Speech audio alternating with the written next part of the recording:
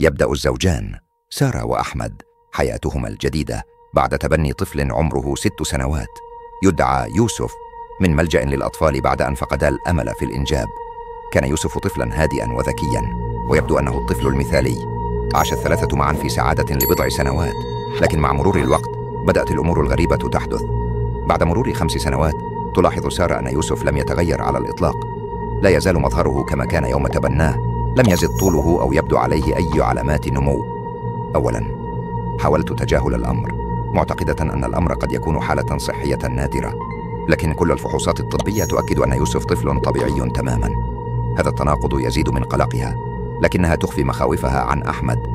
بالتزامن مع اكتشاف سارة لعدم نمو يوسف تبدأ أحداث غريبة تحدث في المنزل. أصوات همسات تأتي من غرفته في منتصف الليل وتحركات خفية تشعر بها سارة في المنزل.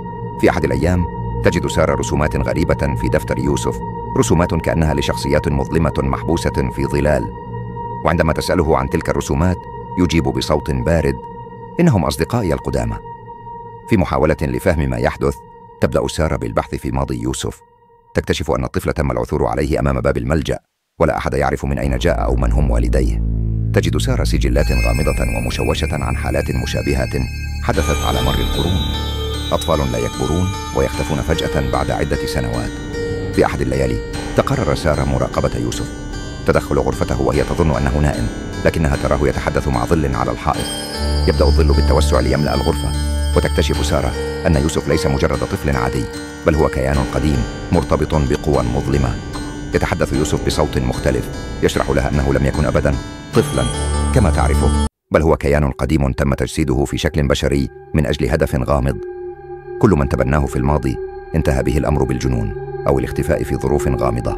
سارة تكتشف أنها وأحمد كانوا مجرد أدوات في لعبة قديمة تلعبها هذه الكيانات ويدركون أن يوسف ليس بحاجة إليهم بعد الآن.